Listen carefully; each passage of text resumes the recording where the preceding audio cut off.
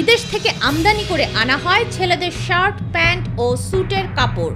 তবে সেসবে তথ্য গোপন করে আমদানির অনিয়ম করার অভিযোগ রয়েছে বিভিন্ন প্রতিষ্ঠানের বিরুদ্ধে। এদের বিরুদ্ধে নজরদারি অব্যাহত রেখেছে বিএসটিআই। তবে তৈরি পোশাকের মান নিয়ন্ত্রণে সব তদারকির এখতিয়ার নেই সংস্থাটির অসাধু ব্যবসায়ীরা মিস ডিক্লারেশন দিয়ে চট্টগ্রাম পোর্ট মোংলা পোর্ট বেনাপোল দিয়ে বা ইয়ারে বিভিন্ন সময় মিস ডিক্লারেশন দিয়ে শার্টিং শুটিং না লিখে আপনি পিওর কটন, পিওর সিনথেটিক লিখে মিস ডিক্লারেশন দেখে তারা ডিউটি দিয়ে মাল নিয়ে আসে। বেলমন্ড, র্যামন্ড, এমনকি আমরা এই যে বেলমন্ড বনশ্রী শাখা যেটা, এখানে মাননীয় আদালত কর্তৃক জেলেও পাঠাইছে। রকি টেক্সটাইলে আমরা মামলা করছি, তারপরে ফতুল্লাতে মামলা করছি, আমরা বারোটা মামলা দিছি। এ তো গেল বিদেশ থেকে আমদানি করা কাপড়ের নিম্নমানের তথ্য। এছাড়া দেশে তৈরি পোশাকের কাপড় নিয়েও নিম্নমানের অভিযোগ রয়েছে ক্রেতাদের। দেখা যাচ্ছে কালার নষ্ট হয়ে যায় বা সুতা সমস্যা হয়। এরকম মাঝে মাঝে অনেকটা সমস্যা দেখা যায় আমরা তো এটাই অভিজ্ঞ না। তারপরও যে পড়ার ভিত্তিতে যতটুকু আর কি বুঝতে পারি ওইটার উপরেই আর কি করে নেই কম্পেয়ার করে নেই। বিশেষ করে শাড়ির দোকান বা কাপড়ের অবশ্যই সরকারের হস্তক্ষেপ থাকা উচিত।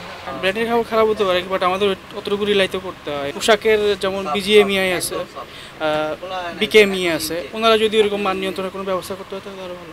একটা টিমটা তো অর্গানাইজড হতে হবে কোনো কোনো একটা প্রতিষ্ঠান থেকে। তারপরে তারা সাব সার্ভে করে জানাবে আর কি। বিক্রেতারা বলছেন এসব রেডিমেড গার্মেন্টসের মান তদারকির কোনো ব্যবস্থা নেই। সরকারের তরফ থেকে তো এটা নজরদারি করে না কারণ আমাদের তো সমিতি আছে এই সমিতি থেকে এখন ওরা অর্গানাইজ করে কিনা সেটা আমাদের জানা নাই আর কি। অনেকের বিভিন্ন ধরনের মন মাইন্ড থাকে যারা একটু অন্যরকম অসাধু ব্যবসায়ী আছে তারা তো অন্যরকম কিছু করতে পারে। এই জন্য মনিটরিং থাকা ভালো। ওখানে গিয়ে যদি মানে মান সম্পূর্ণ ধরা ধরতে পারে তাহলে বেটার আমাদের জন্য। অথচ নিয়ম আছে পোশাকে কাপড়ের রং হতে হবে স্থায়ী ফেব্রিকের মানও ভালো রাখার নিয়ম। কিন্তু কেন তাতে অনিয়ম হচ্ছে? জবাব দিলেন দোকান মালিক সমিতির সভাপতি। আপ টু দ্য মার্ক আমরা কিন্তু কাপড়টা দিতে পারছি না ডিজাইনটা দিতে পারছি না। সেই কারণে কিন্তু এই ঈদের সময় আমাদের মার্কিংটা চলে যায় বিদেশিদের হাতে বিশেষ করে মহিলাদের পোশাক। এইটা আমরা কোনো ক্রমে কাভার করতে পারছি না। ভেজাল খাবারের মতো নিম্নমানের কাপড় কিনে প্রায়ই ঠকছেন ক্রেতারা।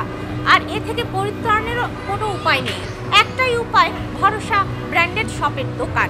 কিন্তু এভাবে আর কতদিন? সমাজের সর্বস্তরের সব অনিয়ম দূর হয়ে প্রতিষ্ঠিত হোক নিয়মের শাসন। এমনটাই প্রত্যাশা সকলের। দর্শক, চোখ রাখুন মাই টিভির সাপ্তাহিক আয়োজন নিয়ম অনিয়মে। সাথে আছি আমি শারমিন আজাদ